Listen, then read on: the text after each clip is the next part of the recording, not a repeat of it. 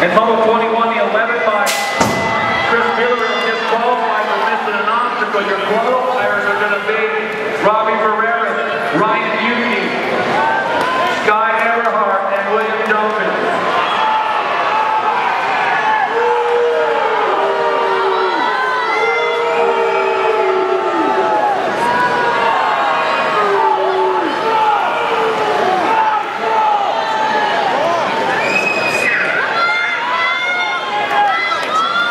Mitchell's going to go to seven.